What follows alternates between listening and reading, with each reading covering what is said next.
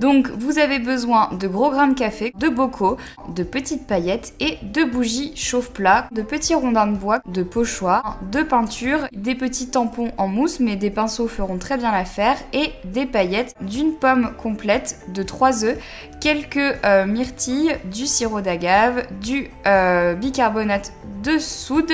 Ensuite, j'utilise 100 euh, g de poudre d'amande et 200 g de farine, d'une orange ou d'une clémentine. Je préfère les oranges et des clous de girofle. Un pot en verre de farine, du sucre en poudre, du chocolat ou alors de la poudre de cacao et des pépites de chocolat. vous pouvez également prendre des petits morceaux de noix. D'un pot avec une anse, d'une guirlande lumineuse qui fonctionne avec des piles et de petites boules de Noël. D'un tableau qui est aimanté, de peinture à ardoise, ensuite bien évidemment d'un pinceau mousse pour pouvoir appliquer la peinture et d'un gros stylo qui fait effet craie un demi-citron, deux cuillères à soupe de sucre brun de préférence et une cuillère à soupe de miel, d'une banane, deux cuillères à soupe de yaourt grec, un demi-citron et deux cuillères à soupe de miel, deux cuillères à soupe de poudre de cacao non sucrée, de deux cuillères à soupe de miel comme tout à l'heure et ensuite une cuillère à soupe de yaourt grec, deux cuillères à soupe de miel et un avocat et c'est tout.